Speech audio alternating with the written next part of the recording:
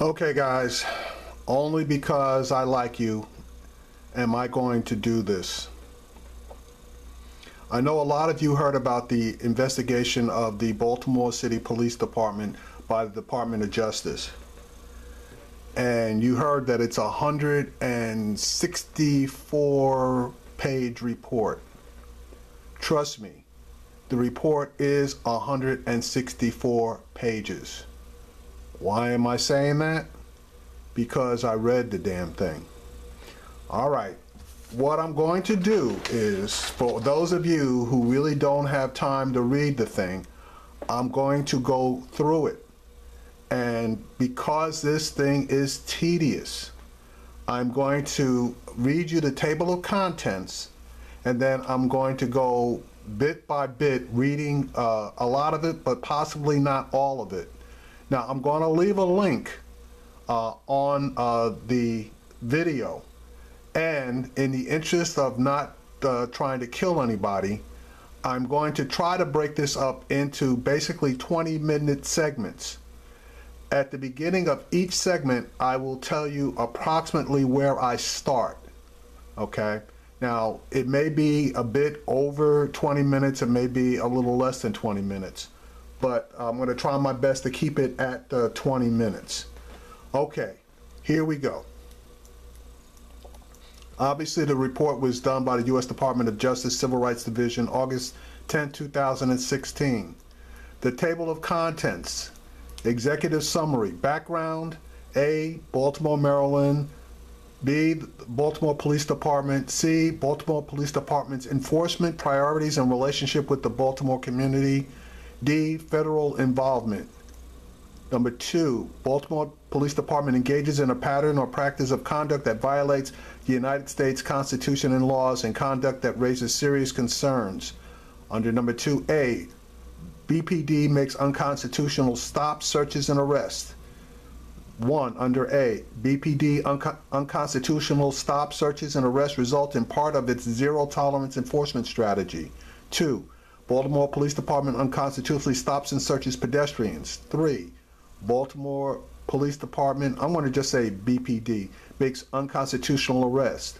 Four, BPD unconstitutional stop searches and arrests result from a long-standing practice of overly aggressive street enforcement with deficient oversight and policy guidance. B, BPD discriminates against African Americans in its enforcement activities. One, BPD enforcement activities disproportionately impact Amer African Americans. Two, racial disparities in BPD's enforcement along with evidence suggesting intentional discrimination against African Americans exacerbates community distrust. C, BPD uses unreasonable force. One, BPD overly aggressive tactics unnecessarily escalate encounters and results in excessive force. Two, BPD uses unreasonable force against individuals with a mental health disability and those in crisis and fails to make reasonable modifications when interacting with individuals with mental health disabilities. Three, BPD uses unreasonable force against juveniles and ignores widely accepted strategies for police interactions with youth. Four, BPD uses unreasonable force against people who are not a threat to officers or the public. Five, BPD deficient policy, it's BPD's deficient policies, training, crisis intervention program, and lack of oversight underlie the pattern or practice of excessive force and violations of the Americans with Disabilities Act. Six, BPD's transport practices create a significant risk of harm. D, BPD unlawfully restricts protected speech. 1. BPD unlawfully detains and arrests members of the public for protected speech. 2. BPD retaliates by using force against individuals who engage in protected speech. 3. Concerns that BPD interferes with the right to record public police activities. E. BPD's handling of sexual assault investigations raises serious concerns of gender biased policing. 1. Evidence of gender bias in BPD's response to sexual assault. 2. BPD fails to adequately investigate reports of sexual assault. Roman numeral 3. Systematic deficiencies in BPD's practices contribute to constitutional violations, erode community trust, and inhibit effective policing. A. BPD fails to adequately supervise its officers' enforcement activities. 1. BPD does not provide adequate policy guidance and training to its officers. Two, BPD does not adequately supervise officers or collect and analyze data on their activities. B, BPD fails to adequately support its officers. C, BPD fails to hold officers accountable for misconduct. 1. BPD lacks adequate systems to investigate complaints and impose discipline. 2. BPD's internal culture is resistant to effective discipline. D. BPD does not coordinate with other agencies appropriately. E. BPD fails to engage in effective community policing. 1. The relationship between the police and the community in Baltimore is broken. 2. BPD has failed to implement community policing principles. 3. BPD recognizes that it must improve its relationship with the community it serves, but much work remains. And then finally, the conclusion. Okay. That took approximately six minutes and 30 seconds. Now let's jump into uh, the areas that uh, we need to really look at. The executive summary. Today we announce the outcome of the Department of Justice's investigation of the Baltimore City Police Department, BPD, after engaging in a, foul, a thorough investigation initiated at the request of the City of Baltimore and BPD the Department of Justice concludes that there is reasonable cause to believe that BPD engages in a pattern or practice of conduct that violates the Constitution or federal law. BPD engages in a pattern or practice of 1. Making unconstitutional stops, searches, and arrests. 2. Using enforcement strategies that produce severe and unjustified disparities in the rates of stops, searches, and arrests of African Americans. Three, uses excessive force. And four, retali retaliating against people engaged in constitutionally protected expression.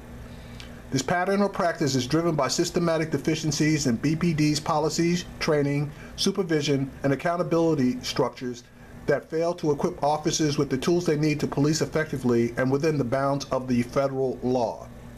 We recognize the challenge faced by police officers in Baltimore and other communities around the country Every day, police officers risk their lives to uphold the law and keep our communities safe. Investigatory stops, arrests, and force, including at times deadly force, are all necessary tools used by BPD officers to do their jobs and protect the safety of themselves and others. Providing policing services in many parts of Baltimore is particularly challenging where officers regularly confront complex social problems rooted in poverty, racial segregation, and deficient educational, employment, and housing opportunities. Still, most BPD officers work hard to provide vital services to the community. The pattern or practice occurs as a result of systematic deficiencies at BPD. The agency fails to provide officers with sufficient policy guidance and training, fails to collect and analyze data regarding officers' activities, and fails to hold officers accountable for misconduct. BPD also fails to equip officers with the necessary equipment and resources they need to police safely, constitutionally, and effectively. Each of these systematic deficiencies contributes to the constitutional and statutory violations we observed. Okay, that was uh, through page four of the document. Now I'm going to jump to page six.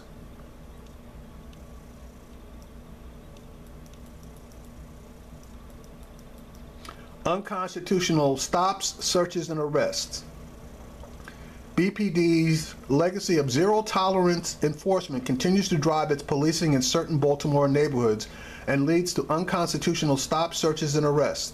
Many BPD supervisors instruct officers to make frequent stops and arrests, even for minor offenses and with minimal or no suspicion without sufficient consideration of whether this enforcement strategy promotes public safety and community trust or conforms to constitutional standards, these instructions coupled with minimal supervision and accountability for misconduct lead to constitutional violations. Stops.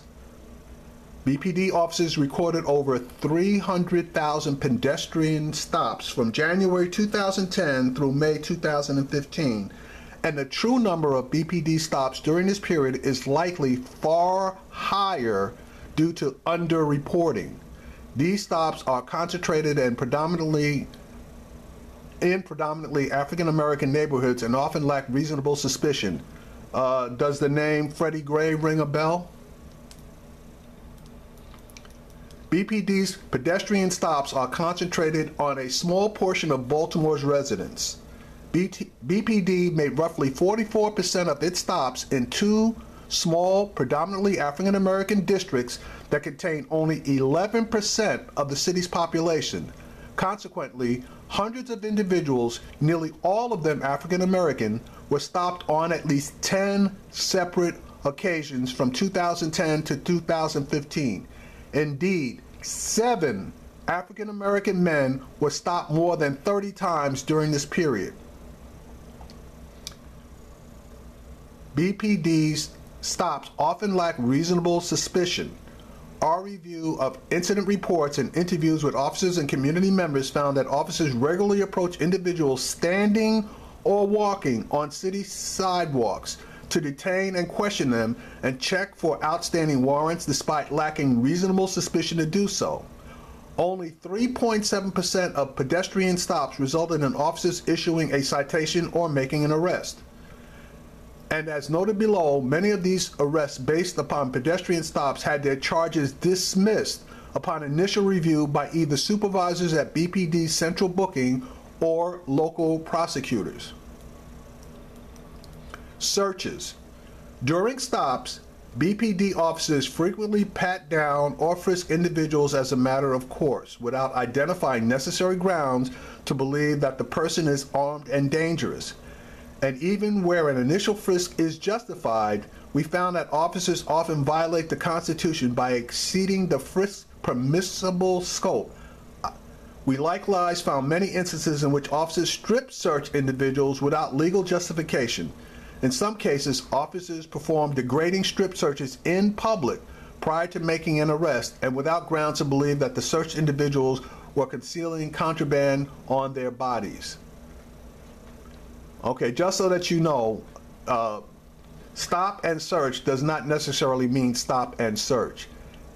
The stop sometimes, and a lot of the times, is not a constitutionally allowed stop, but even after the stop, the search is not mandatory and must be uh, accompanied with probable cause. So when they stop you and search you, uh, they must enunciate the probable cause they have to search you, otherwise it's an illegal search. But they go into that uh, later in the document. Arrests. We identified two categories of common unconstitutional arrests by BPD officers. One, officers make warrantless arrests without probable cause. And two, officers make arrests for misdemeanor offenses such as loitering or trespassing without providing the constitutionally required notice that the arrested person was engaged in unlawful activity. Arrest without probable cause from 2010 to 2015. Supervisors at Baltimore Central Booking and local prosecutors rejected over 11,000 charges made by BPD officers because they lacked probable cause or otherwise did not merit prosecution. Our review of incident reports describing warrantless arrests likewise found many examples of officers making unjustified arrests. In addition, officers extend stops without justification to search for evidence that would justify an arrest. These detentions, many of which last more than an hour, constitute unconstitutional arrests. Misdemeanor arrest without notice. BPD officers arrest individuals standing lawfully on public sidewalks for loitering, trespassing, or, or other misdemeanor offenses without providing adequate notice that the individuals were engaged in unlawful activity. Indeed, officers frequently invert the constitutional notice requirement.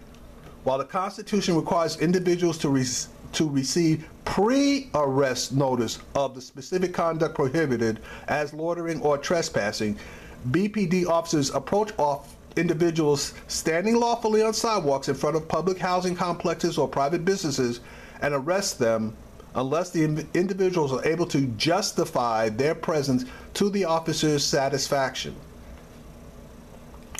Discrimination against African Americans. BPD's targeted policing of certain Baltimore neighborhoods with minimal oversight or accountability disproportionately harms African American residents.